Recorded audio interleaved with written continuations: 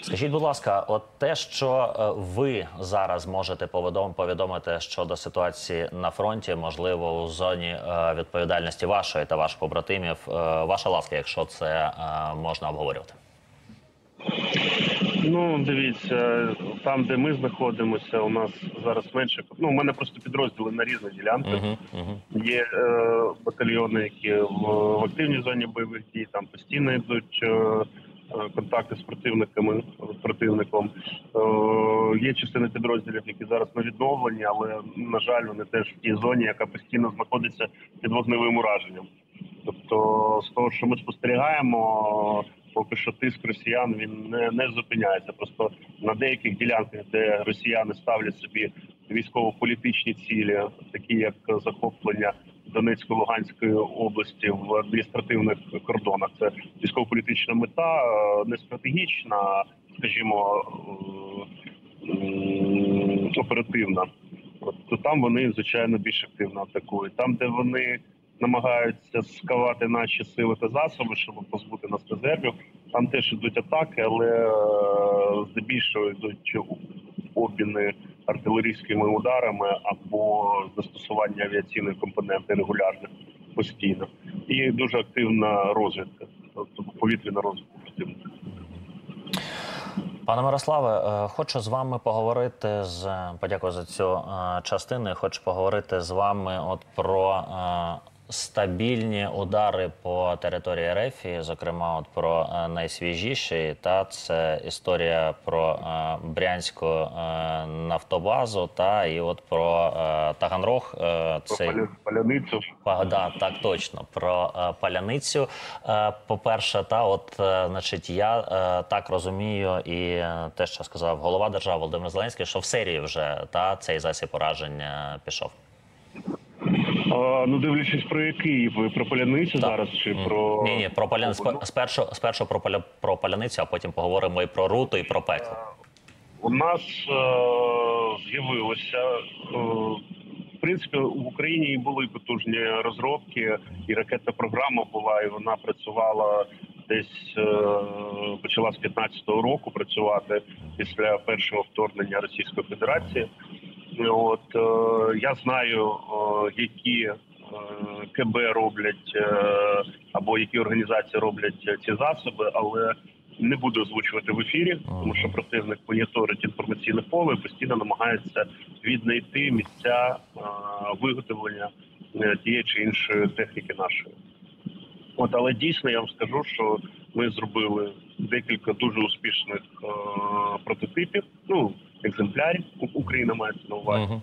От і зараз вони вже в серії. Зараз це буде все більше і більше.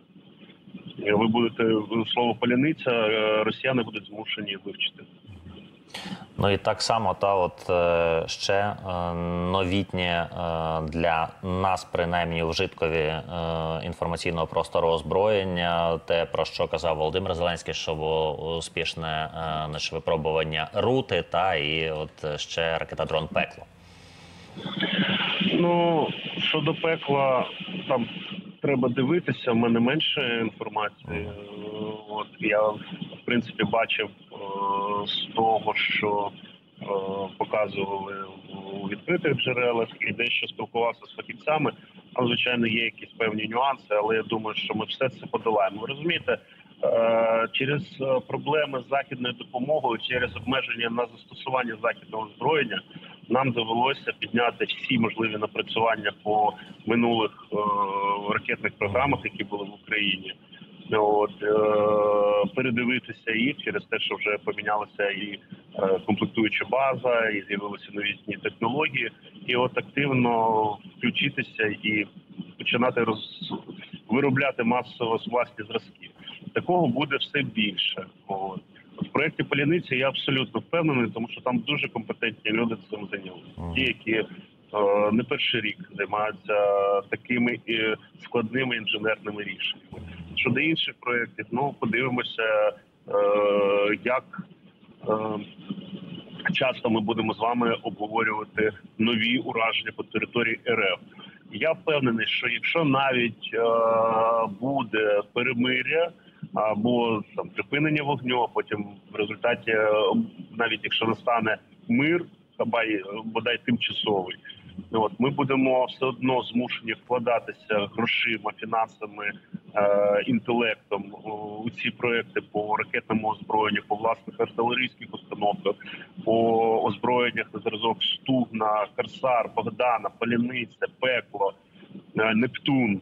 Для того щоб е, на, наситити е, власну оборонку, е, власні військові склади цими засобами, аби вони були готові на все життя, щоб росіяни знали, що за будь-яку секунду одразу десятки тисяч таких паляниць полетять в їхній бік, якщо вони ще раз спробують е, вчинити агресію проти Росії. Нам треба буде відновитися, відновити збройні сили. Ну от е- відновити наші склади з боєприпасами. Ви бачите зараз ціла низка скандалів з боєприпасами. От ракети ми навчилися робити якісні, які летять там на 500 і більше кілометрів. А от е, з боєприпасами, з мінами 120-ми, щось у нас, які набагато простіші. Технологія це минулого сторіччя. От навіть тис, тис, е, тисяч, е, тисячоліття навіть минулого. Але щось у нас поки що не виходить от по цих технологіях якісно відпрацьовувати. От, але в майбутньому майбутнє України це потужна, інтелектуальна, аграрна, дуже мілітаризована держава з е, одним з найпотужніших в Європі, а може і в світі е, військово-промислового комплексу. Пане Мирославе, е, під завісу нашого сьогоднішнього діалогу е, не можу вас не запитати власного ставлення про е, історію з мобілізацією е, 1825 та от ну з боку наших головних стратегічних партнерів да Сполучених Штатів Америки. Ось це все, що в інформаційному просторі довкруж цього відбувається. Як ви розцінюєте? Ну, знаєте, я свого часу розмовляв з нашими військовими очільниками, е, там ще з попереднім главкомом і іншими генералами. Я вам скажу, що багато хто вважав, що треба знижувати планку. Я поясню, чому тому, що війна це дуже складна, е, навіть фізично просто складна робота. От е, яку легше робити більш молодим. Але це ж залежить від багатьох факторів. Якщо у нас буде припинення вогню, то скоріш за все це не знадобиться ця норма.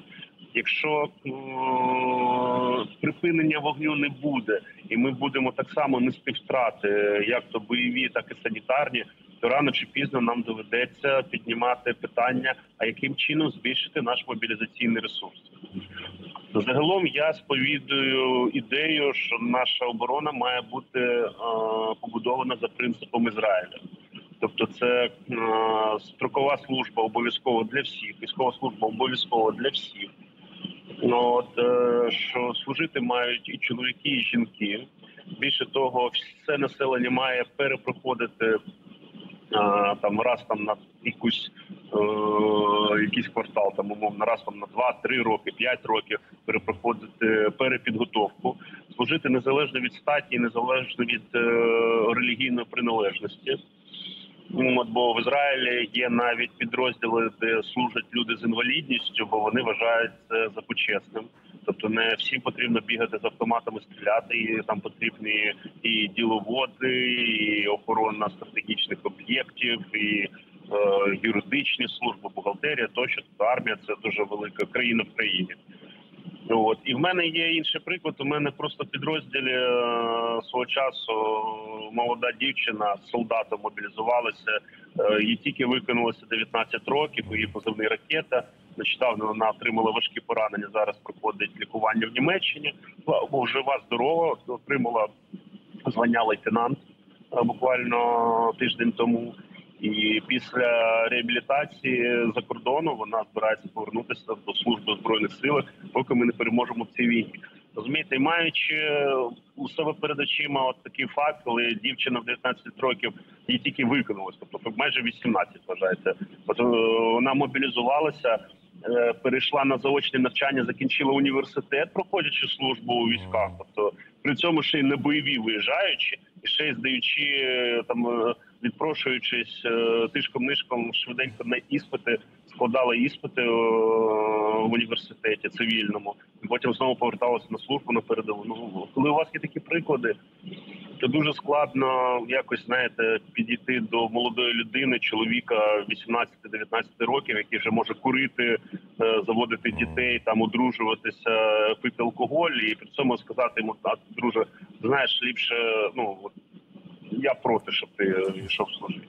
І в мене ще є інший приклад. Я розмовляв у 21-му році, якщо не помиляюся, з з одним з е, бюрократів військових е, з Міністерства оборони Німеччини. Так от у них е, він так мені сказав, Мирославе, якщо ви ну розмова англійською відбувалася, тому приблизний переклад, що е, пане Мирославе, якщо ви е,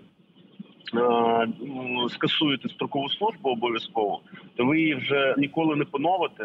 Тому що ми в Німеччині так зробили. От з 15-го року не можемо відновити. Вже там каже, е, ну скільки там е, сім років вони не можуть відновити, тому що вони помінялася законодавча база. Це раз треба все пропускати знову через парламент. А найголовніше у них була знищена інфраструктура оцих е, їхніх комісаріатів по нашому ТЦК де були люди, які а можуть вести облік, а можуть організовувати це. У них е, були знищені навчальні центра, де це можна було проходити. А головне, у них ще й було знищені військові е, лікарняні комісії. Тобто е, фахівці порозходилися ж по інших роботах.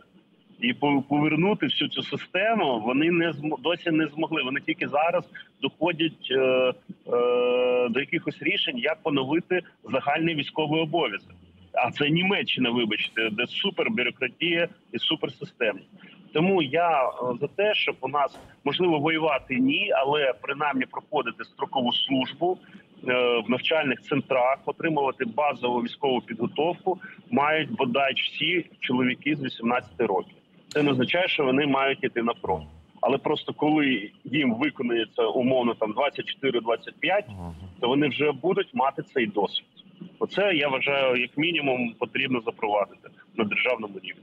Пане Мирославе, спасибі вам велике за те, що ви знаходите час і можливість бути на живому зв'язкові з прямим. Майор Збройних сил України, керівник благодійного фонду Мир і Ко Мирослав Гай був е, з нами.